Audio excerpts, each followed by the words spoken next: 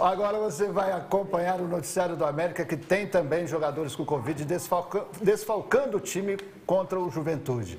O treinamento do Lisca não pôde contar com três jogadores, Toledinho. É, o Diego Ferreira, é, o Giovani e o Vitão, né?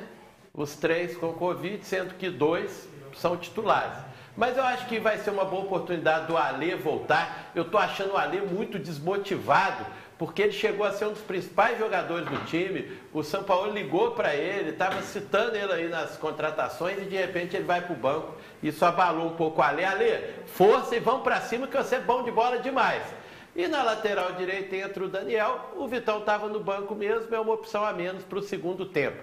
Mas vamos cuidar aí, moçada, porque o Covid está chegando pesado.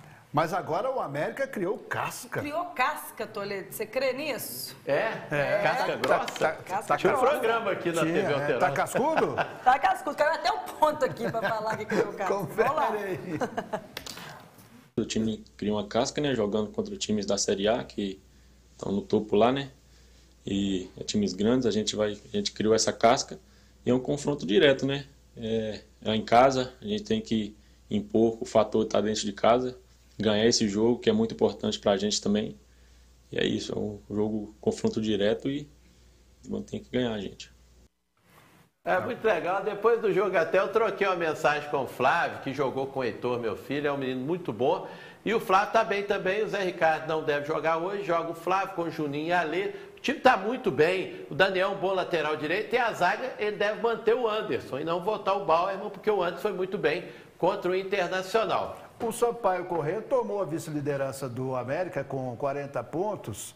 É, porque virou ontem para cima do Figueirense. Foi tá vendo, Gal? Tem time que vira para cima do Figueirense. Não, mas hoje o América recupera isso aí, que vai ganhar do Juventude tava, hoje. Vai recuperar. Eu estava no site do América ontem acompanhando o elenco do América, procurando algumas boas peças, o, o Leopoldo Siqueira.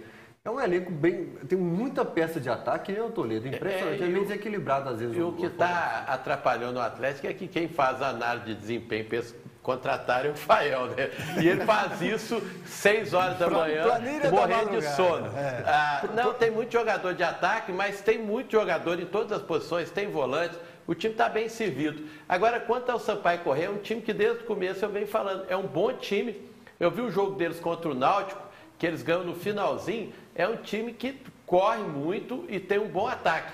Agora, você vai me desculpar, Chapecoense, Sampaio Correia, tem nome de time, não é? América é o nome do time vencedor. Então, passar o, o Sampaio Correia. Eu vi o Lisca ontem falando que eh, enchendo a bola de Chapecoense, o camarada lá foi, o técnico lá foi auxiliar dele. Ô Lisca, me ajuda aí, vamos para cima dos caras. Chapecoense vai ratear em breve e nós vamos passar por cima dela. Então o América enfrenta Juventude, quem enfrenta Chapecoense líder com 47 é o Cruzeiro, que tem informações agora